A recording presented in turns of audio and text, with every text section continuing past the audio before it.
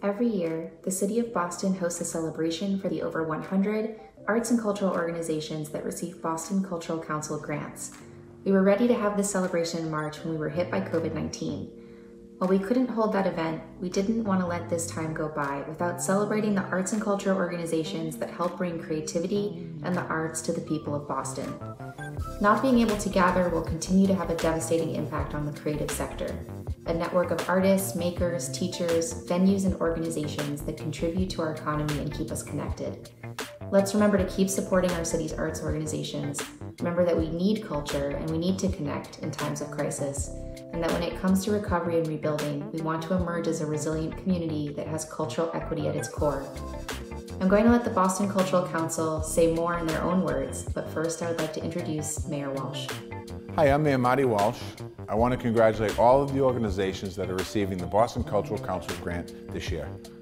The mission of this grant program is to support arts organizations across all of our neighborhoods, enhance quality of life in our city, and make sure that everyone has access to cultural resources.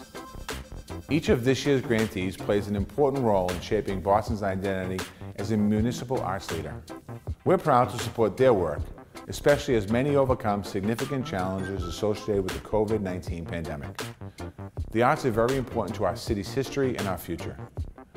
They help us build community and social resilience. That's why we're making the arts a part of our plan for an equitable recovery here in Boston. Today, we've awarded more than $1.5 million to arts programs through our BCC grants, and we'll continue to support great organizations that make a real difference in our communities.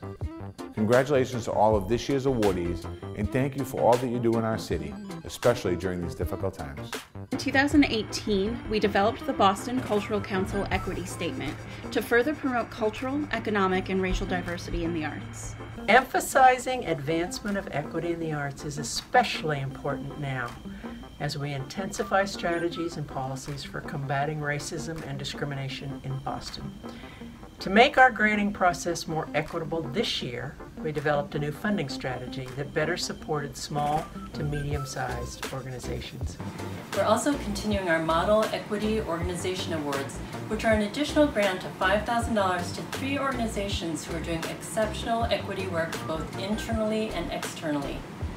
So without further ado, we'd like to present those organizations to you now. Their vision, a Boston defined by justice, equity, and artistic innovation, is evident through their programming, audiences, and staff. They lead in social change throughout the city by providing a platform for sharing underrepresented narratives of historically marginalized communities. Their audiences are 43% people of color. They allow more accessibility with a pay what you want pricing model. Their programming, 75% of main stage plays over the last five seasons, written by playwrights who identify as people of color and 60% written by women. Their hiring processes 75% of actors identifying as people of color, and 47% of designers, musicians, stage management, and choreographers. Similar diversity enriches their board, staff, and teaching artists. Lastly, the honoree does not separate its artistic vision from its justice vision, staking a claim that justice and equity are not siloed from artistic practice, but rather part of it. Their additional funding will help in their continued efforts to improve pay equity for staff and crew. Congratulations to Company One Theater, represented by Karthik Subramanian, Interim Managing Director. They demonstrate multiple creative and simultaneous approaches to serving the community with rich diversity in programming and interactive involvement. Their ambition and energetic emphasis on Asian Pacific Islander populations models concern for the immigrant experience overall, and especially now in the U.S. With speed of luxury housing development for new residents, Chinatown is now the Boston neighborhood with both the lowest median income and the highest median rent. Within this, our honoree maintains a strong ethnic group identification, social connectedness, and family cohesion, all proven protective factors against the mental distress that threatens this redeveloping neighborhood. Our honoree models equitable practice for others at a systematic level, improving the large context for arts audiences, artists, and arts organizations in the region. How? Through collaborative placemaking programs, artist services, presentation, and education programs. Their additional funding will support and strengthen community-centered residences and artists who celebrate the Asian Pacific Islander perspectives and viewpoints. Congratulations to the Boston Chinatown Neighborhood Center represented by Cynthia Wu, Director of the Pao Arts Center. Their mission of diversity through dance offers high quality training to talented, disadvantaged young Boston neighborhood dancers and reaches out to diverse audiences for their performances. Its founder grew up in Roxbury and Jamaica Plain and joined a street gang as a teenager, yet also won a scholarship to the Boston School of Ballet. He later became the first African American to dance with the Boston Ballet.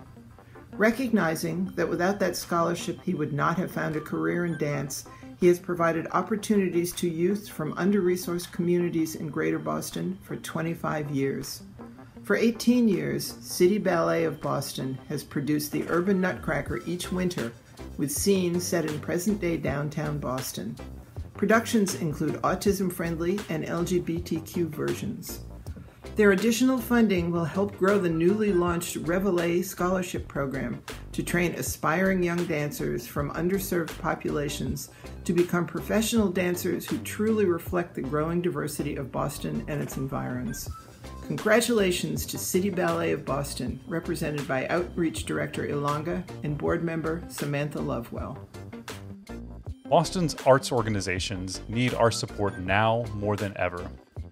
Many of the organizations we were supposed to celebrate earlier this year have been reeling from closures and cancellations due to COVID 19 and are working tirelessly to think through ways they can return to their spaces and programs safely. So many of us benefit from the programs that these organizations offer. And I'd like to ask all of those who are able to find a way to support them during this difficult time. If you regularly see a show, uh, take dance lessons, or participate in another type of creative expression through these organizations, consider making a donation this month instead. Once again, thanks to this year's grantees for their commitment to making Boston a more vibrant, equitable, and welcoming city. We look forward to celebrating your role in Boston's arts sector in the years to come.